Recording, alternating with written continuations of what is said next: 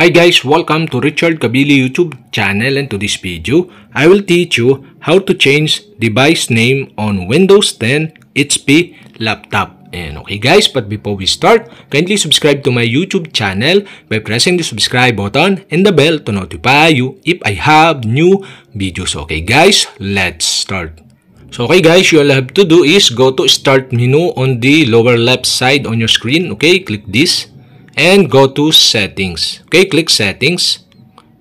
Here in settings, go to system. Okay, click system. Here in system and left side, scroll down and go to about. Okay, click about. Here in about and device specification, you can see the device name. And you can see here the rename this PC button. Okay, you'll have to do is click this and the pop-up art show. You can see the rename your PC.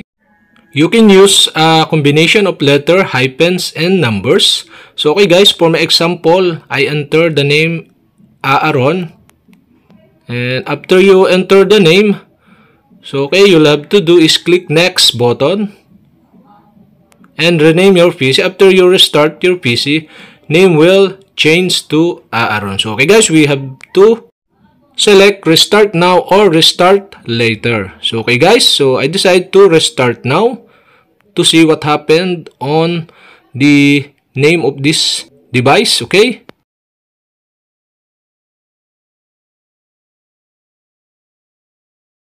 And okay guys, we have successfully restart. Okay, you'll have to do is go to start menu again to show the device name is changed, okay? So, after that, go to settings. Okay, click settings. Here in settings, okay, go to system. Okay, click system.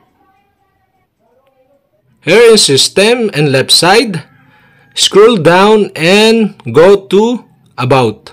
Okay, click about. Here in about, you can see the device specification and you can see the device name. So okay guys, we have successfully changed the device name into Aaron. And okay guys, that's it. And if you have a question, kindly comment below. And don't forget to hit the subscribe button and the bell to notify you if I have new videos. Okay guys, thank you for watching.